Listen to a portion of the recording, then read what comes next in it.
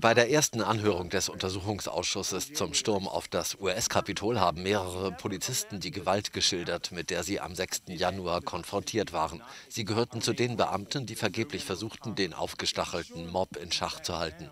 Fünf Menschen, darunter ein Polizist, kamen bei dem Gewaltausbruch ums Leben. Ich habe versucht, die Leute von mir wegzuschieben, um Platz zu schaffen, während ich die ganze Zeit bemerkte, dass einige versuchten, meine Waffe zu ergreifen. Ich erinnere mich, dass sich einer von ihnen immer wieder auf mich stürzte und versuchte, nach meiner Waffe zu greifen. Die Beamten beschrieben das Entsetzen und die Angst, die sie empfanden, als die Randalierer das Gebäude stürmten, nachdem der damalige US-Präsident Donald Trump sie dazu angestiftet haben soll. Deshalb musste sich Trump einem Amtsenthebungsverfahren stellen. Die Polizisten schilderten Angriffe mit Elektroschockgeräten und anderen Waffen, aber auch rassistische und andere Beleidigungen. Ein Beamter erklärte, seit den Attacken leide er unter einem Trauma.